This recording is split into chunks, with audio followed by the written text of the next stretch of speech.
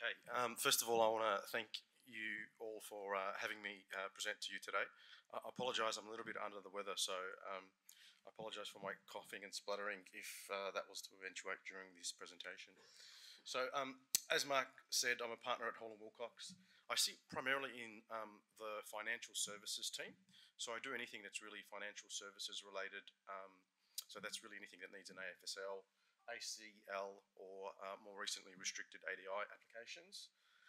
Um, the way I sort of got involved in blockchain was a client came to me in 2017, and, and, and, the reason I'm going to tell this story is just to sort of explain the commercial opportunity for professional services, which is directly relevant to you. Um, yeah, a client came to me and said they wanted to create an index fund of cryptocurrencies. Um, and it was a funds management one-on-one advice, sort of stuff that I do every day. Um, but at the time, Bitcoin and blockchain was all over the headlines, as were ICOs. And I thought to myself after that matter, I don't know anything about Bitcoin and blockchain. Um, it seems closely related to the work that I'm doing. I should go and educate myself so I can at least have an intelligent conversation um, with clients about it because it seems like I'm going to get a bit more of um, the work in this space. So I started reading about Bitcoin and blockchain and the more I read, the more I wanted to read. And it was like going down a bit of a rabbit hole. And after a couple of months, I thought to myself, well, this is just an amazing technology. It's going to touch our lives in so many ways personally, professionally, through government. The technology is going to be everywhere. I want to try to stay ahead of the curve here. So I started writing all these articles about the legal implications of undertaking ICOs, legal implications of setting up cryptocurrency exchanges, just general updates on, on, on blockchain um, and setting up crypto funds. And never in my life have I had so many cold contacts of people reaching out to me than with respect to that material that I put out back then. And it's just grown ever since. And the opportunity from a professional um, services perspective has been um, phenomenal for me. Um, as Max said, I also sit on the board of um, Blockchain Australia, which is the peak industry body for blockchain, which um, is involved heavily in the government lobbying um, to get regulations in place, and I'll talk a little bit more about that throughout the presentation. So just a very high overview, and I'll go into more detail in, in relation to a number of these items um, throughout the presentation. We don't have any specific laws for blockchain at the moment. Um, the only things that are uh, specific to crypto uh, GST being removed uh, for cryptocurrencies. Uh, recently, there was uh, a bill released that uh, basically says that um, cryptocurrencies are not foreign currency for tax purposes, and digital currency exchanges are required to register with AUSTRAC, which is the anti-money laundering regulator in Australia. ASIC has put out some guidance for sa sales, basically saying that um, they could be a financial product um, but again, they're applying existing principles. Same with the ATO, they've put out some crypto-specific guidance, but again, applying uh, existing principles. Um, in 2021, uh, a Senate inquiry produced a report which had, um, I think it was 12 recommendations, all but one of those recommendations were then accepted by the then Liberal government, almost all of those recommendations revolved around uh, blockchain. Um, and the then Liberal government said that they wanted to implement legislation um, in respect of all of the recommendations that were made within one year. Um, but obviously there's been a change of government since, and I'll go into that a little bit more. Um, in March 2022, Treasury released a consultation paper for a licensing regime for digital currency exchanges and custody service providers um, and that was released under the then obviously Liberal government. Um, in April of this year, APRA, uh, the prudential regulator for our banks and insurers and superannuation companies, um, set out some principles relating to risk management and a policy roadmap um, that they intend to follow. And Senator Bragg, who led the Senate inquiry uh, when he was in government, um, has recently, while in opposition, released a draft digital assets market regulation bill to um, license crypto asset service providers in line with the consultation that was released in March uh, 2022. And I'll go into further detail on that shortly. I'll start with the guidance that ASIC has put out. Uh, Info sheet 219 ASIC basically says that the existing regulatory framework is sufficient for distributed ledger technology and we don't need any uh, specific uh, laws and the existing regime can accommodate it. Um, I beg to differ, but in any event, they do point uh, the reader to the Innovation Hub for assistance and um, they note a particular fintech licensing exemption. Uh, information sheet uh, 225 initial coin offerings in cryptocurrency has had various iterations uh, since 2018, probably four, I think. Um, but basically, in it, it, ASIC says that crypto assets may or may not be a financial product, and it depends on the features of the particular um, token, and it's a substance over form issue. Um, but ASIC has been quite clear that Bitcoin is not a financial product, and they put forward this view in a Senate inquiry in 2014, um, in which they said that digital currencies are not financial products. Um, and the big difference between Bitcoin and a lot of tokens that exist in today's um, crypto market is that Bitcoin, there was never an actual sale of tokens. The, the, the Bitcoins were all mined. And that makes a big difference because to the extent that you sell the tokens and um, the proceeds of that sale are used to do something to enhance the value of what you've sold, then you potentially enliven uh, capital raising laws under the Corporations Act, including um, uh, Chapter 6D in relation to the issue of securities, and Chapter 7 potentially with respect to other types of financial products. In Australia, the most relevant potentially are um, managed investment schemes, which have a very broad definition, and um, non-cash payment facilities. Um, if it's not a financial product, then it would be treated as a commodity, as it says, and then you would be subject to the general laws of uh, misleading and deceptive conduct. And importantly, if they are a financial product, then they can't be listed on ordinary crypto asset exchanges.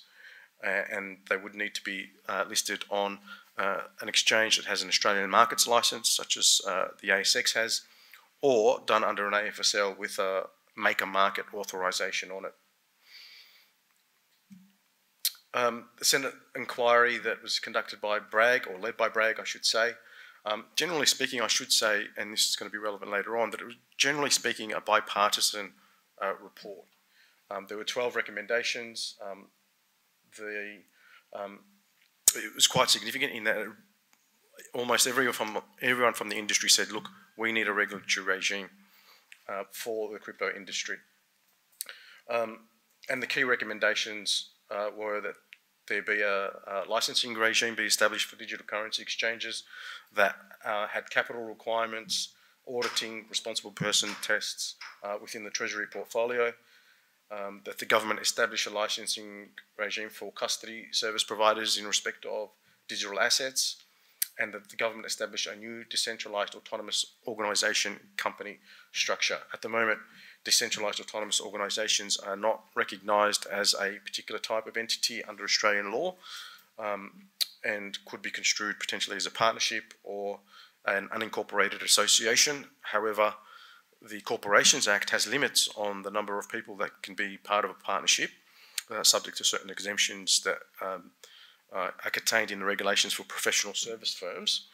Um, but that limit is 20 people. So if you, if you um, establish a DAO in Australia and it has more than 20 people, technically you're required under the uh, Corporations Act to incorporate. Um, and if they haven't incorporated, well, what are the legal implications of that? Um, that this is a, a, topic that has been raised by the Australian Law Reform Commission recently in relation to its review of um, the Corporations Act. Um, and another key recommendation is that the Anti-Money Laundering and Counter-Terrorism um, Financing Act be um, clarified to ensure that it's fit for purpose uh, when it applies to digital assets. Um, as I mentioned earlier, in March 2022, off the back of that Senate uh, inquiry, uh, Treasury released a consultation paper that proposed a licensing regime for crypto asset service providers at a very high level. It is based on the AFSL regime, has similar requirements, uh, but it is not an AFSL. Um, it uh, suggested a single licensing regime um, that would have separate authorizations for those that um, operated digital currency exchanges and those that provide custody of digital assets. Um, similar to the requirements that apply to AFSL holders, um, they'd be required to do all things necessary to ensure that the services covered um, are provided efficiently, honestly, and fairly, um, and operated in a fair, transparent, orderly manner, uh, to have adequate technological and financial resources, manage risks, uh, have adequate dispute resolution, various client money obligations, and a requirement to be audited. Um, as I mentioned earlier, the Australian Law Reform Commission is doing a review of the Corporations Act as a whole. Um, it's not specific to the information um, that is on this slide, um, but it discusses technological innovations in financial services sector and specifically considers reforms for the recognition of uh, crypto assets and decentralized autonomous organizations. Um, to that effect, the ALRC suggests that regulation should be uh, driven by the function performed by the crypto asset or the DAO and necessary obligations attaching to um, activities associated with the crypto asset or DAO, rather than being uh, driven by the technology itself, uh, which makes sense. And they have suggested that it may be appropriate to include a new term in the legislation to reflect the definition of crypto assets. However, um, the label and definition used to describe the concept should be considered carefully. Um, they also note in their paper that uh, while there are advantages of allowing DAOs to adopt a corporate form, um, such an approach detracts from a uh, DAO's decentralized autonomous nature as it requires a human agent or representative to be appointed on behalf of the DAO. Um, possible design choices for DAOs um, include that they operate in a purely decentralized unwrapped form, uh, which is treated as an unincorporated association or, or something similar, or a wrapped or hybrid arrangement under which a DAO operates through a company or a corporate form. Um, all of these things are still to be worked through. Um, these are just, uh, it's really just a discussion paper that's been released by the Australian Law Reform Commission.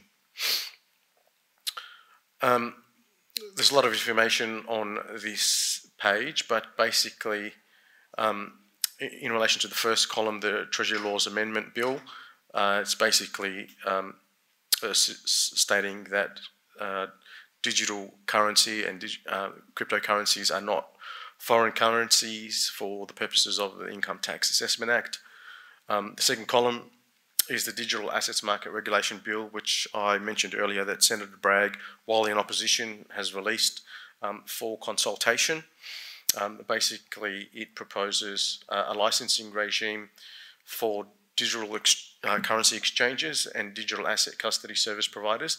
But interestingly, and this was not in the previous consultation, um, the issue of stablecoins uh, should, where it's 100% fiat backed, need to also be licensed under this bill.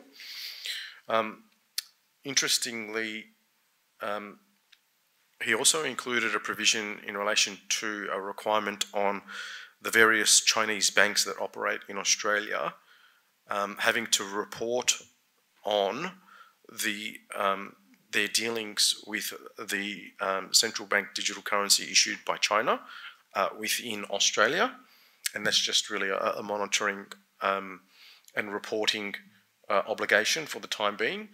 Um, Blockchain Australia had suggested that um, we're not specifically target China within the actual legislation and rather give the minister a, a power to uh, declare central, certain central bank digital currencies subject to these uh, requirements through a, a, designation, so that wouldn't be so overtly targeted at China. Um, there is also a proposed exemption for uh, foreign operators, excuse me, where they hold a license of a recognized foreign exchange covering that activity and that uh, recognized foreign exchange basically means that there's substantially similar um, regulations are in place. So we'll see what happens with that. Because uh, he's in opposition, I don't um, expect that um, it's going to go very far, but at least he's keeping the conversation going. Now, the current Labor government has uh, announced in uh, August that they are going to undertake a token mapping exercise. Um, what that means is uh, assessing the various types of tokens and determining um, effectively whether or not they should be regulated uh, as financial products under the existing regime or they fall into everything else. Um, that is, uh, we expect that that consultation um, will be released um, by the end of this year, um, but we don't have any sort of hard time frames. This is just sort of what I've heard on the grapevine.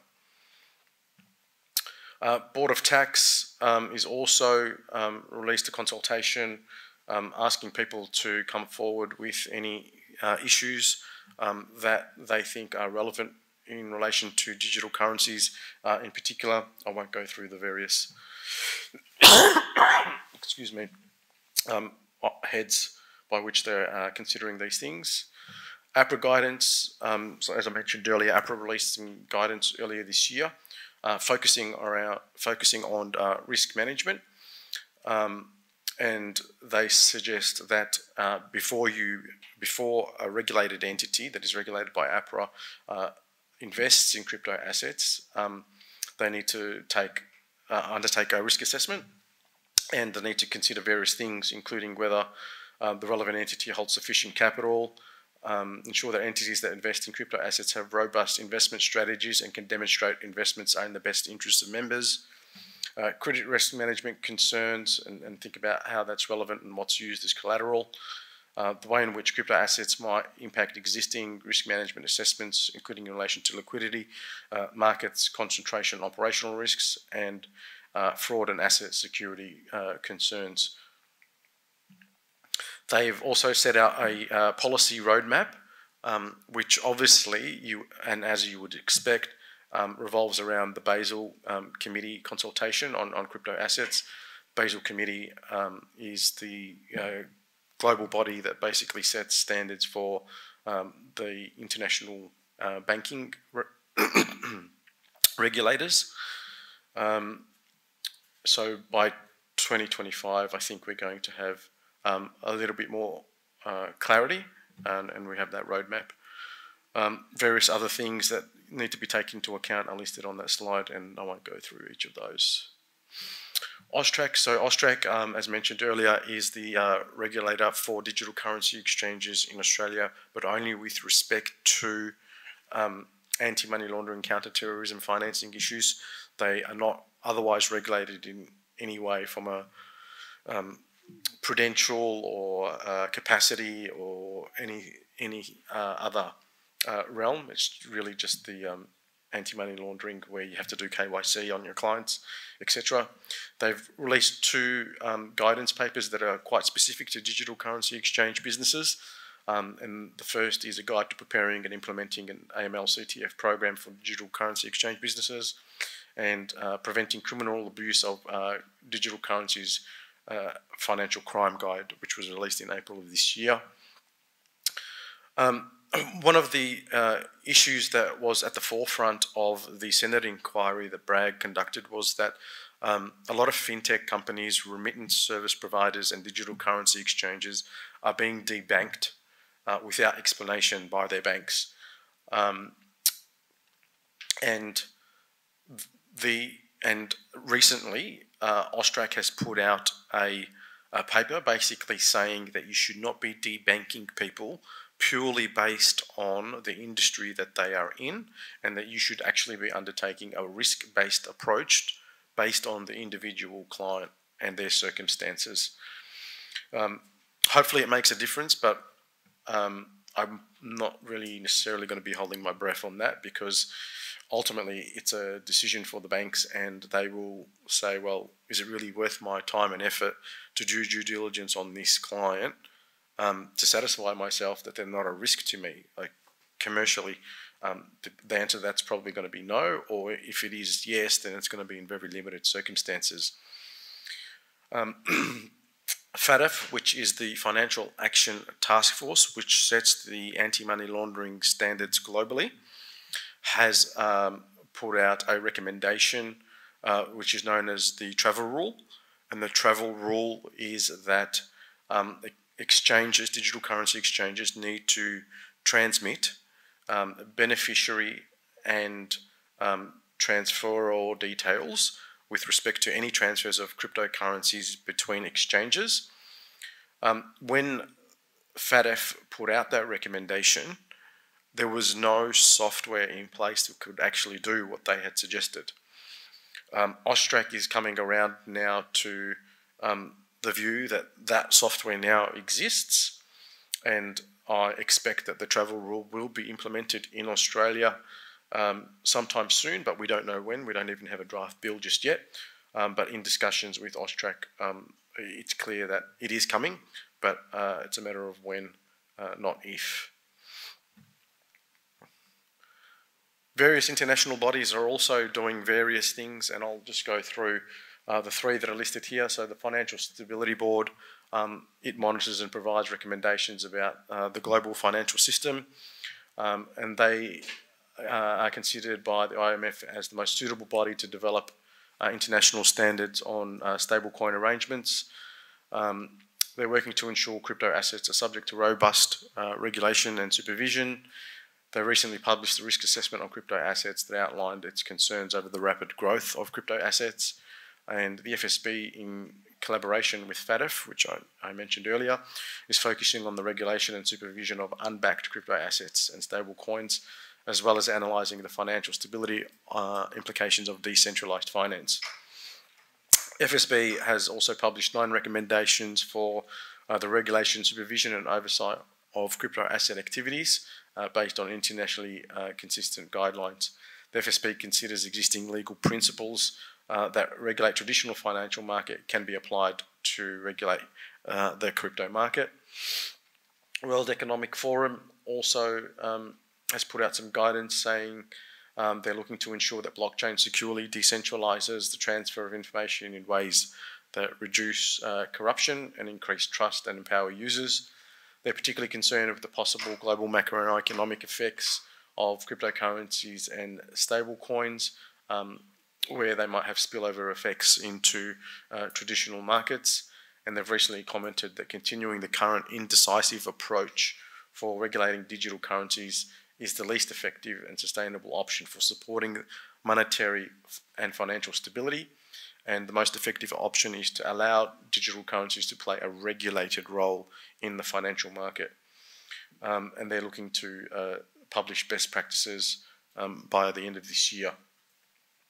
IOSCO, IOSCO is the International Organization of Securities Commissions, basically the global body um, in relation that uh, brings together the world's securities regulators um, and is recognized as the global standard setter.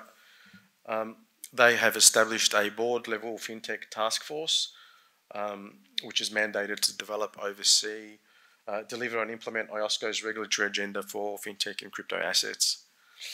Um, Australia is a member of IOSCO, so you can expect that um, we will likely follow any recommendations that come out of IOSCO. Um, and they've recently provided some guidance in relation to um, stablecoin uh, arrangements. That's it for me. I'm happy to take uh, any questions.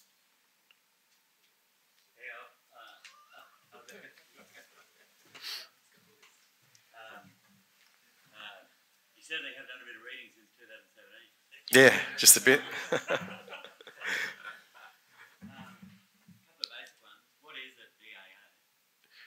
DAO, De Decentralized Autonomous Organization. So basically, it's a blockchain protocol where people hold tokens, and nothing is done in respect of that protocol unless every, unless there is a vote taken.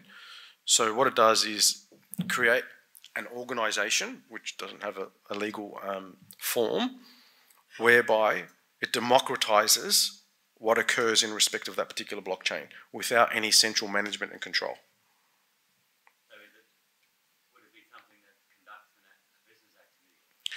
No, not really. No, it would operate uh, that particular blockchain, whatever that blockchain does. So it it would set the rules for that blockchain. Um, okay, so there is uh, an Australian outfit called um, Mycelium, which has established Tracer DAO. Tracer DAO is a um, software protocol that is blockchain based that um, that allows people to create financial products on a peer-to-peer basis, and they vote. The, the, the token holders who are part of the DAO vote on what should or shouldn't be done in respect of that blockchain. So, then someone might put up a proposal to say, "Oh, we want to create this type of financial product, and therefore we need to engage someone to um, change the, our blockchain protocol to facilitate that being able to occur." that would require us to pay them this much money through the tokens that have been issued. So people vote. Do you vote yes or no to these people undertaking this change to the protocol and paying them this amount of money? That's an example. Debanking is basically when you get your account closed, bank account closed with, without notice. Well, the banks don't usually give a reason, which is one of the problems and, and why people are throwing their arms up saying, well, you're not giving us a reason, so we can't address whatever your concerns may be. But they're entitled to because it's a free market. I don't have to do business with you. Uh, unfortunately, though, the, the reality of it is, in today's society, you can't operate either as a human, like just as an individual, or a business without a bank account and my personal view is that, well, given that, there should be an entitlement to have a bank account, but that's not the law of the land.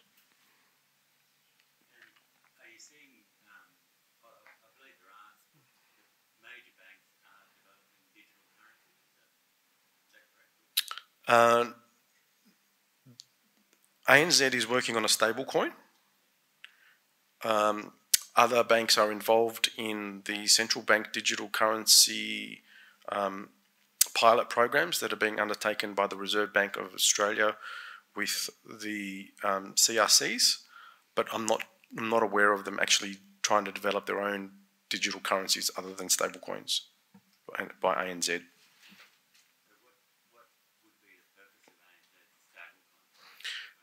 Um, it's more efficient settlement of transactions, so virtually instantaneous. So if ANZ has a, a, issues a stable coin, and I'm pretty sure off the top of my head they're limiting it to like wholesale clients.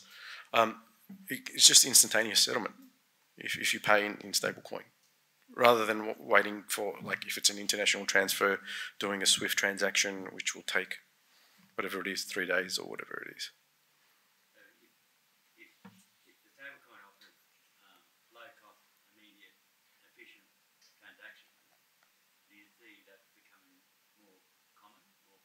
Yes, definitely. Yeah.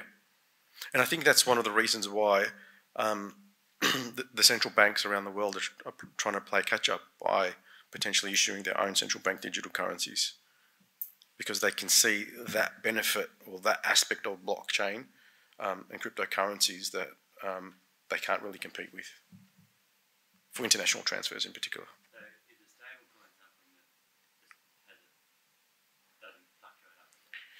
Uh, in theory, it shouldn't because generally speaking, it should be backed on a one-for-one basis. For so for every token, there should be a dollar held in reserves.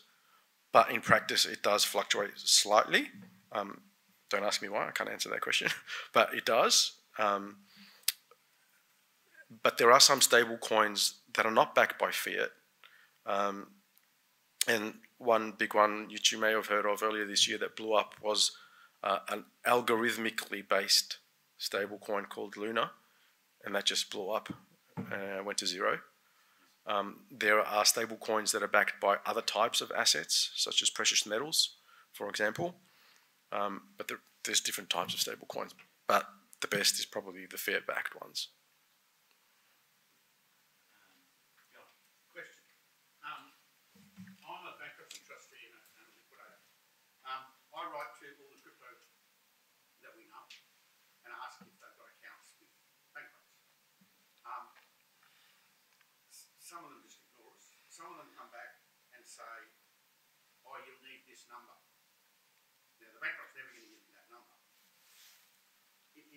Government gonna bring in regulations to make accounts more visible, like bank accounts? Uh, I don't know that that's been something that's been on the agenda. Um, but having said that, I do know that the ATO writes to all of the exchanges and says, give me all the information that you have in relation to all of your clients. So they do data matching in relation to people when they do their tax returns. But that specific um, point I haven't seen uh, be raised before, but it's a, a, valid one. And I, I would have thought that um, it should be one that's raised through, um, is it ITSA? What, what's it called? Whatever it is these days, yeah. And, and also, Correct. Yeah. So, you know, be walking around with thousands in your pocket. Yep. And no one knows. Yep, that's right. So I as a trustee can't find out. Yeah. Uh, unless you undertake a very sophisticated um, tracing exercise, which uh, Mark can tell us about.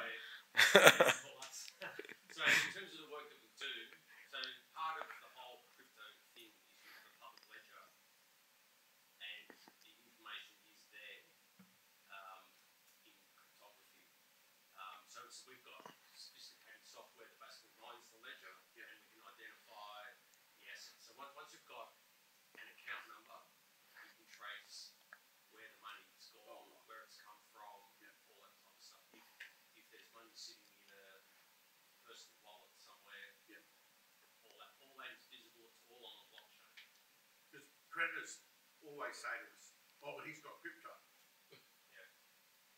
We, we attended, crypto. we attended the crypto conference that was up here a couple of months ago, and it was interesting. You know, the crypto were basically laughing at liquidators and uh, law, yeah. lawyers not doing enough work to find out how much money they've really yeah. got.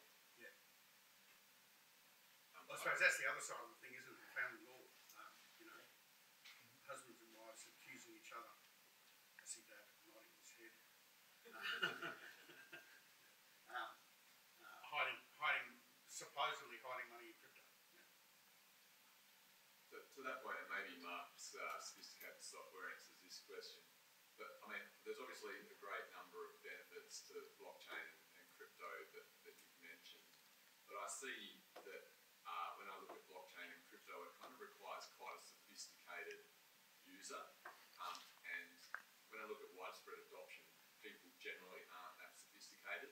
And I use the example of the de decentralized system. So if you've got crypto, that you could have it on a USB, or you could have it um, in a dark wallet or something like that. But if you lose your password, it's decentralized, so you can't go back to the administrator and, and press, I forgot my password.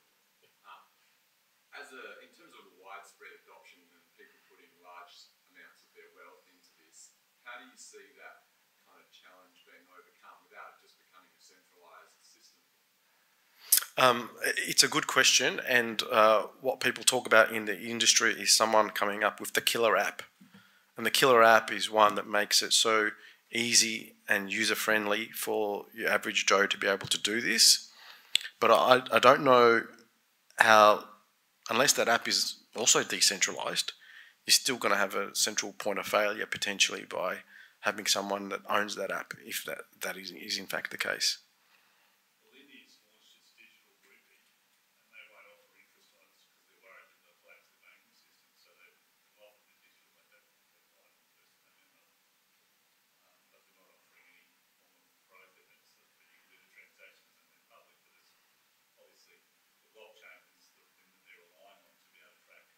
Yeah. That's interesting. I wasn't aware of that. I'll have to look into that one.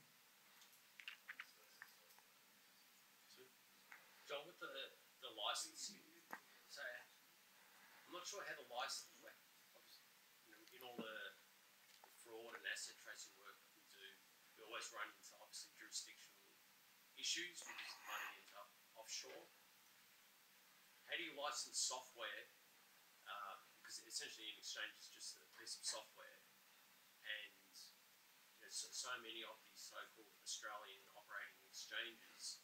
The user agreement is with um, an offshore entity.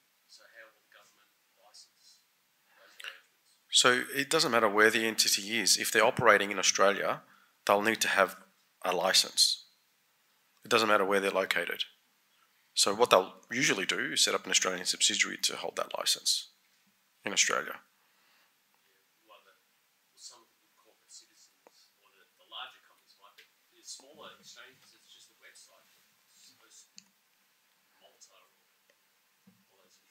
Yeah, but once the licensing regime is in, there'll be a lot more, for want of a better word, transparency in relation to you know where they're located and um, who's behind it and, and what their um, capacity is to do what they're doing because it'll all be a condition of having the license.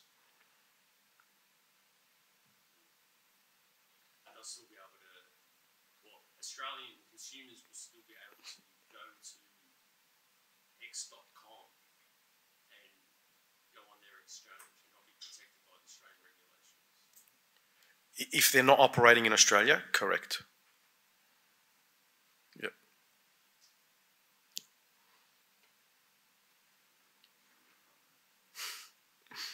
Yep. Um, assuming all this regulation come, you know, rolls through over the next few years, in your opinion, just fast forward five years, how does, how do we see cryptos operating through the economy, um, down the track? You're a believer, I'm a skeptic, like, what, what, what are the transactions we're gonna see us or our businesses actually undertaking using cryptos, assuming all this regulation? Uh, it, yeah, it's a really good question, and I don't have a silver bullet answer for you, but um, I can tell you this: um, a lot of businesses are moving towards uh, blockchain. So you may know that the ASX is developing a chess settlement system, which is blockchain based. Um, that's had a lot of pushback because it can actually put a lot of people out of business. Your brokers, your registry services, and, and whatnot. So there's been delay after delay after delay. Uh, some of it's technical, uh, granted, but there's a lot of politics involved in it as well. So that's an example of where you'll see uh, blockchain. Um, the market for for crypto at the moment is purely speculative, and it's hard to see um, through all of that what's going to ultimately survive and um, be things that are going to be around just because they're so useful. Because everyone's just focusing on the speculation on wanting to get rich quick and whatnot. But um, you know, all of your um, what are, what are they called? The top four accounting firms or whatnot now all have specialist um, blockchain teams now, and they do blockchain consulting to corporates to enhance their businesses and make them more efficient using blockchain what I mean, there's a lot of stuff that's going on in supply chain. That's an example. Um, so there's stuff going on in wine, beef, um, diamonds. So there's a lot of stuff that's going on, but you're just not going to know about it. It's just going to be like, um, I don't know, I, I use an Excel spreadsheet. Do I need to know the code behind the Excel spreadsheet? You're just not going to know about it, but it will be there if that makes sense.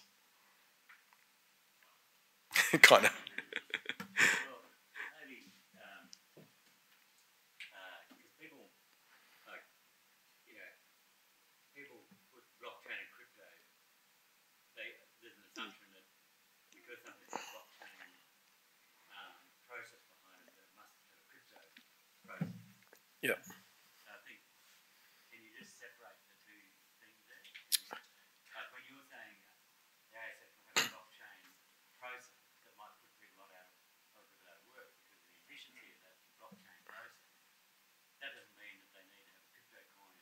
No, it doesn't. So I think what you're saying is that blockchain could be much more widely utilised as a, as a form of efficient transaction.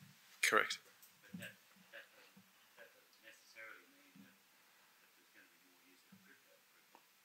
It, it doesn't, but I think there will be more use of crypto as well. In addition to blockchain being, like there'll be, people will create things, and I don't, I don't have a, um, I- can't tell you what it is exactly, but people will come up with things whereby cryptocurrency makes perfect sense for the economy that they've created for that particular crypto, and people will use it in time. What that looks like exactly, I don't know. So, for example, I can tell you, um, Elon Musk is going to introduce payments to Twitter. I, I, will bet you hundred bucks at least that there'll be crypto attaching to it some way, shape, or form. We've got like the uh, the top end Gucci dresses that go for millions of dollars. You get you, you buy a real dress and you get a Gucci token. So to stop counterfeiting, because that token can be traced on the public ledger back to Gucci, so you know uh, it's the real thing. And uh, I think Alfa Romeo doing it with service logs on motor cars. I think I've heard about that. Yeah. So it ensures data integrity. The, I think the livestock and grain industries are going on it. You know, you buy a cow and you want to know the history of the cow. Did it grow up firstly in the desert or did it come from Gippsland? So that information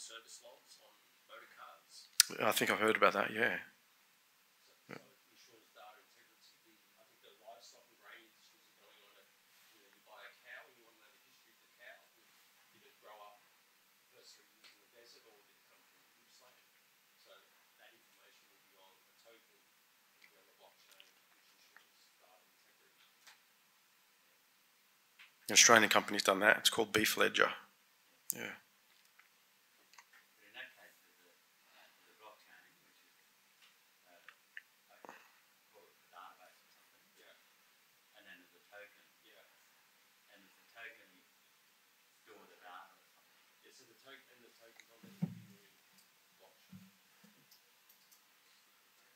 David, remember that Prime Global meeting last year or eighteen months ago we went through? Three years ago, yeah. When the president of the Blockchain Society from New York lectured for about an hour and a half, and afterwards the three hundred odd members of the uh, Attenders. Worldwide Association had lunch, and the question was asked right around to fill in, did you understand much about the last Session. nobody had a clue what they were talking about. That's only eighteen months ago. Remember, Roy? Hmm. I, I was at a meeting on Tuesday, and I'd like to comment on this, John, where Commonwealth Bank, uh, a couple of guys, their crypto fraud squad. And the general thought out of that, that was the Commonwealth Bank was miles ahead of the other three banks, that's the first question to you. And, and secondly, the frauds they're dealing with every day, the majority of them are cryptocurrency frauds. Um, And they even, for instance, they could even name the districts in Sydney where it was all coming from. And they were naming them. And, and, uh, and, and which, which, um, overseas countries they all came from. And then the biggest one they put on the table was a recent app formed by the ATO, which had caused eight hundred million of fraud. Um, Commonwealth Bank is uh, probably ahead of the rest. I can't say that definitively. I know that they uh, did quite a number of uh, trials of blockchain in supply chain um, a couple of years ago. And I think maybe a year or two ago, they also announced that they're going to make crypto available to their clients through a partnership with Gemini, I think it was. Um, I don't know where that's gone. But on, on the fraud, sorry? They did mention Gemini, but I, I didn't quite understand what they were talking about. Yeah, it was just basically ma- making crypto available to their clients. Um, but interestingly, what they said was that they would only allow their clients to acquire it and hold it, not take it out. So they would have to keep it on or sell it. Um, on the fraud point, I, I there, there's um, software tracing um, firms that track uh, all of the illicit activity on uh, crypto and blockchain, and Mark can probably speak to this better than I can, but the statistics coming out of it are that only 0.37% of all transactions um, are illicit in crypto, but it gets the headlines. It gets the headlines. The, fr- the frauds, like what we, He just We see mentioned lots at of the end about a, a new act that had been brought out by the taxation office. Nothing's been said about it, but it's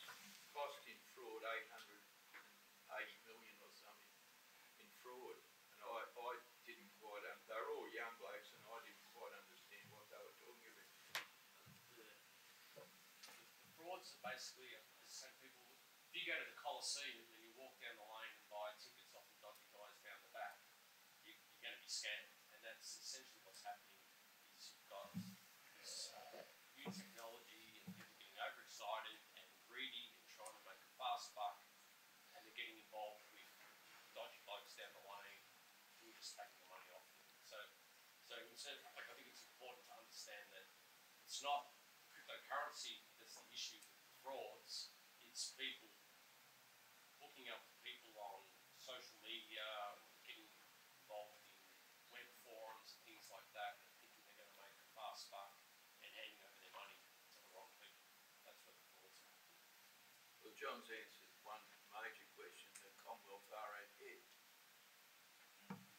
Yeah, but uh, they haven't released, released a lot lately. But my what I hear on the grapevine is they are doing a lot, but they haven't released public information in relation to it. Any other questions? No. Okay. Well, thank you very much for having me.